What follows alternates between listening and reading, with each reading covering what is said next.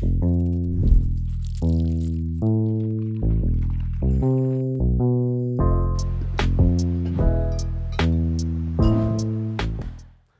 old-fashioned dilemma. When ordering or making your old fashions, there's so many variations to choose from. And we at the Bartender's Box made it a little bit easier to get started.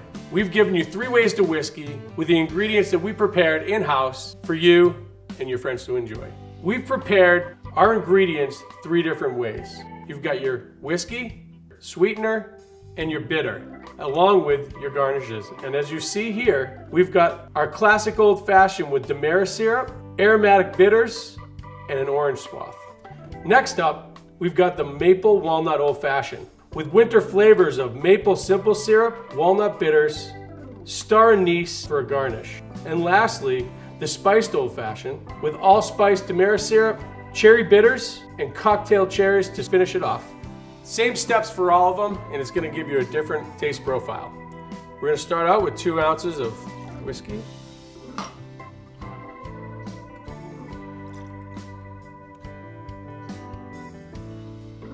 Next, I'm gonna add ice to my mixing vessel.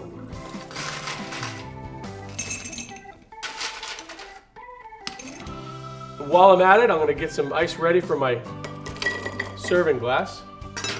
I'm gonna stir. I'm gonna do that for 30 seconds.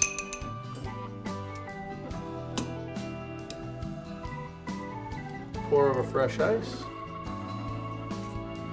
Release some oils. And there you have it. Classic old fashioned. Cheers.